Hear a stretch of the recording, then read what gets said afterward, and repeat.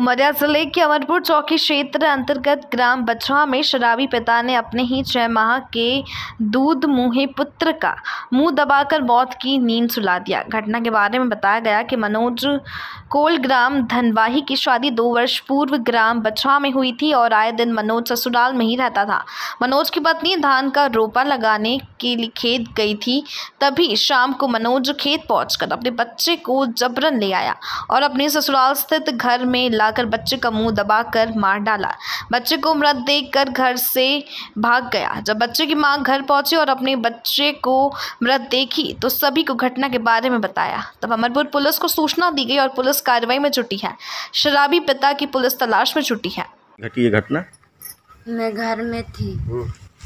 तो ग्यारह बजे आया था। तुम्हारा पति? हाँ। ग्यारह बजे आया था। दिन में? मैं दो ही बच्चों को लेके घर में थी। तो आया था मैं सफड़ा रही थी बच्चे को। तो फिर बैठा था एक घंटा बैठा था फिर मैं चली गई शराब पिया था।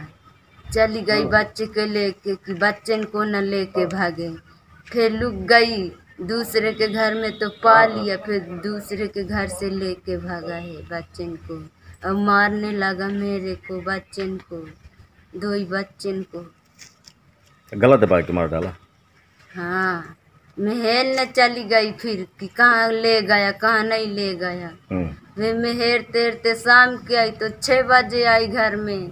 हम्म। बच्चा को देखा तो खटिया में ही परा के निकल लिया मरा पाई बच्चा। इसकी सूचना पुलिस में कौन दिया? पुलिस में कौन दिया सूचना अमरपुर चौकी में? मैं लगाया आपको आपके द्वारा। मैं लगाया रहा आपको किसको?